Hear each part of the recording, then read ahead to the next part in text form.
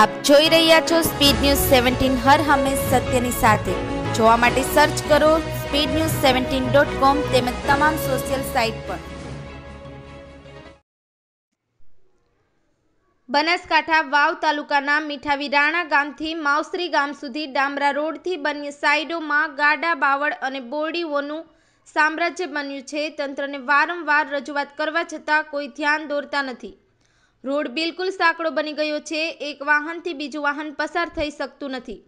વાહન ચાલકોને વાહન ચલાવતી વખતે ભારે મુશ્કેલીઓ પડે છે. રોડ અકસ્માત થવાનો ભય રહે છે. જો કોઈ દુર્ઘટના બનશે, તો તેનો જવાબદાર કોણ?